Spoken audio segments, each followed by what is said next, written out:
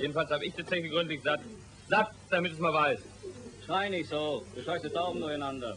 Verdammt nochmal, es geht um mich, nicht um deine Tauben. Wenn du von Zeche weg bist, dann haben wir nichts zu reden. So? Wenn ich aber nach Rüsselsheim will,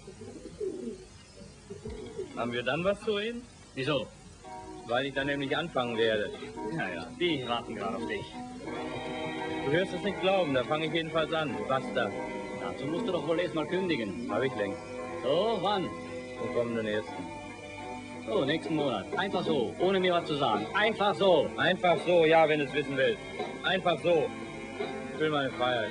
Das ist kein den Brocken hinzuschmeißen und einfach abzuhauen. Ich bin nicht nur die Zeche leid, ich bin auch dich leid. Dein Nörgeln und Meckern. Du bist nämlich die Zeche. Verstehst du? Sei nicht so. Bleib jedenfalls hier. Sei du nicht so, denk an deinen Blutdruck. Du gehst sofort auf die Zeche und machst die Kündigung rückgängig. Einen Scheißdreck werde ich tun. Wenn du von Zeche weg willst, dann packst du hier deine Sachen.